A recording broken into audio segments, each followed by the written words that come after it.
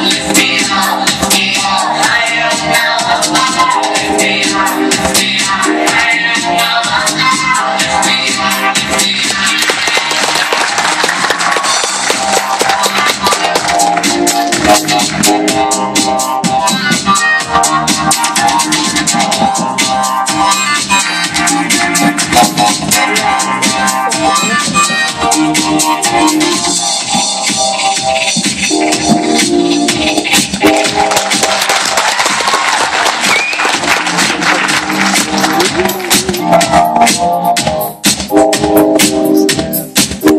Thank